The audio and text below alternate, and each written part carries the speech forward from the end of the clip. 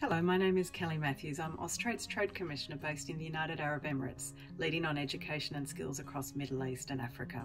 I'm really excited to share with you today some Austrade insights around the strategic environment and the themes we see across this very dynamic and diverse region. I wanted to start by sharing some high level observations to help provide context for this regional overview. From a student recruitment perspective, in 2019, this region accounted for just over 51,000, or around 5.4% of international student enrolments.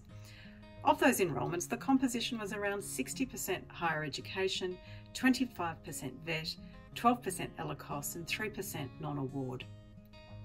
In this region, Australia retains very good brand awareness, and that's supported by our transnational education footprint here in the UAE, in Saudi Arabia, Kuwait, and Mauritius. In terms of competition, there is strong competition across education and skills in this region, from well established competitors such as the UK, the US, and Canada that all have a TNE footprint but also are very active in their student recruitment activities. When you think about the Middle East and Africa region, there are three key frames it is diverse, it is dynamic, and its demographics are young and growing. From a diversity perspective, there are a number of broad indicators that really do bring this to life. You only have to look across the GDP per capita to see the variation across this region.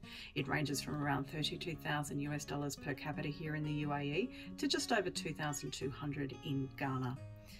There's also diversity across population sizes and demographics. Kuwait has a relatively small population of 4 million when compared to populations in Nigeria and Pakistan, which is over 200 million. There's also diversity across government education spend. It ranges from as high as 14% of GDP to around 6.7% in some markets.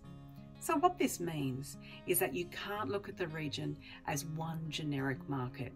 It's really important to understand the unique characteristics and issues in each market, and you will need to have different tactics for different markets. From a dynamism perspective, this region is very future focused with innovation, technology, and international collaborations as a way to drive economic prosperity. Education technology and innovations are game changers and enablers of growth. COVID 19 has accelerated acceptance of new ways of learning, and we are seeing investments across the region in EdTech, and education technologies are very much here to stay. So, what this means is you need to consider the changes that are happening around technology, digitisation, and education innovation agendas as part of any regional strategy. In terms of demographics, demographics and population forecasts are a key factor that sets the Middle East and Africa region apart from all other regions. The UN Global Youth Projections see Sub Saharan Africa, Middle East, and North Africa as the only regions where there will see an increase in youth projections through to 2050. Africa has the fastest growing college age population, with UN forecasts projecting a population of 321 million youth aged between 15 to 24 by 2030.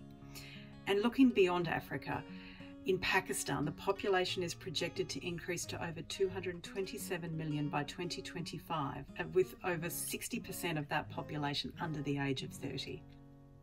So, what this means is then when looking 5, 10, or 15 years ahead, this region is where there will be sustained and continued need for high quality education and skills solutions.